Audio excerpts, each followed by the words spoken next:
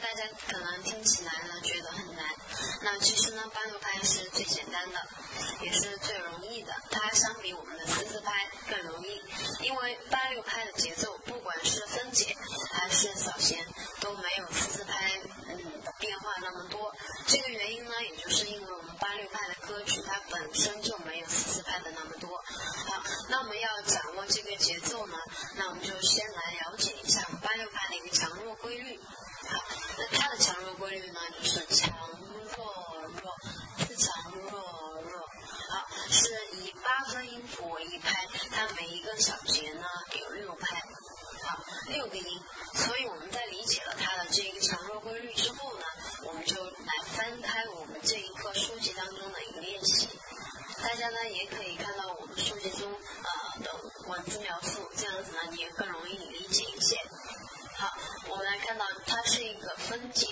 好，那我们来尝试一下，强弱弱，次强弱弱，强弱弱，次强弱弱，强弱弱，次强弱弱，强弱弱，次强弱弱。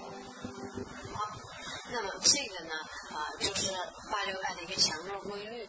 那么这种感觉呢，它是不会变的，没有改变。那我们扫弦的话，也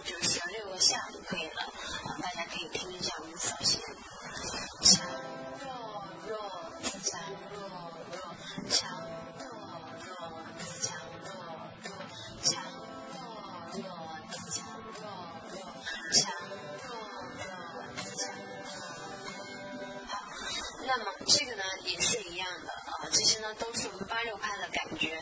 那么八六拍呢，我们只是让大家呢做一个最初步的了解啊就可以了，因为这样子的歌曲呢很少，你只要碰到这样子的歌呢，会一个分解伴奏，会一个扫弦伴奏，啊抓住它的强弱规律，啊弹出来就比较容易了。那么我们吉他的伴奏呢，其实指定哪一首歌你必须要用什么样的伴奏。好，这个我们讲过了。所以说，你只要把它的强弱规律给弹对了的话，那么这首歌不论你怎么样去弹，那它听起来都是对的。好，那大家呢对它做一个最基本的认识，然后自己去找一下我们伴奏拍的这种